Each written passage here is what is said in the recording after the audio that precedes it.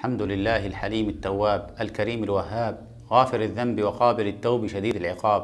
أشهد أن لا إله إلا الله وأشهد أن محمدا رسول الله صلى الله عليه وعلى آله وصحبه أجمعين إلى يوم الدين وبعد.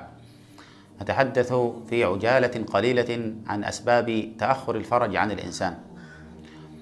الإنسان قد يدعو بدعوة أو يطلب شيئا من الله تعالى لكن الفرج قد يتأخر ولذلك أسباب السبب الأول عدم الاستعجال. يستجاب لأحدكم ما لم يتعجل يقول دعوت فلم يستجب لي. ربما أن الأمر يحتاج إلى استغفار أكثر.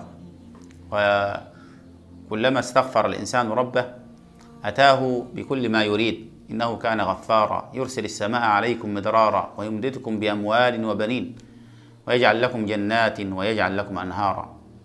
ربما يكون عند الإنسان شيء آخر هو سبب تعطيل الإجابة. إن المسلمين استعصت عليهم مدينة من المدن مرة من المرات فبحثوا ما هو الشيء الذي عصينا فيه ربنا فلم يجدوا. ما هي الطاعة التي قصرنا فيها مع ربنا؟ فوجدوا أنهم قد نسوا السواك.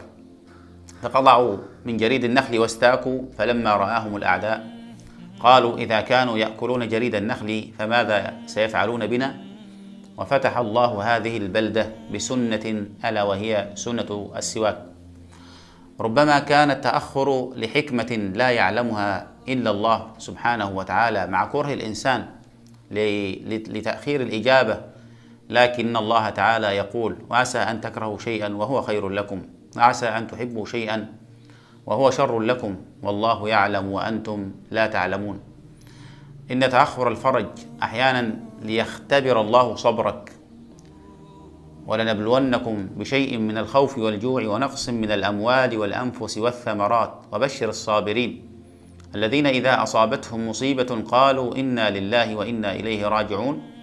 أولئك عليهم صلوات من ربهم ورحمة. وأولئك هم المهتدون. أم حسبتم أن تتركوا؟ ولما يعلم الله الذين جاهدوا منكم ويعلم الصابرين.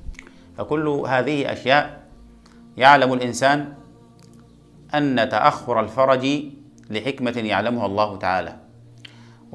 والله هذا الشيء عن تجربة. أنا أدعو الله سبحانه وتعالى مثلكم ببعض الأمور.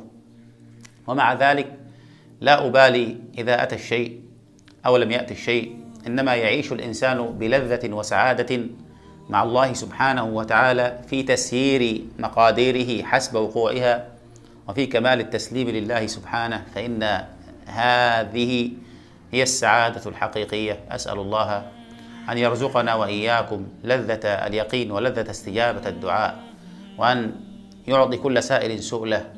والسلام عليكم ورحمة الله وبركاته.